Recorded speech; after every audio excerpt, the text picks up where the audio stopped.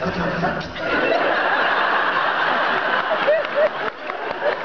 stole my number from somebody.